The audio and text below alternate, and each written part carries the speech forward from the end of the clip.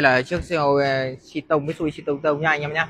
Bình thường thì nếu mà chưa có cái vai thể thao thì anh em nhìn thấy con xe rất là trống đúng không ạ?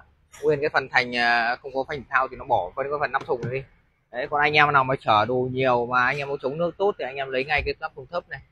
Đấy cái đồ nhỏ đấy nhá. Còn nếu mà anh em mà lắp đồ nhiều cái đồ cao ấy, thì anh em lấy cái nắp thùng cao nó vòng qua đây. Nhưng mà cái đấy thì nhìn cái xe nó sẽ hơi xấu một chút. Nhưng mà bù lại thì anh em sẽ chở được rất là nhiều đồ và chống nước rất tốt còn nếu mà anh em muốn cơ động hơn nữa thì anh em làm cái nắp thùng 3 tấm.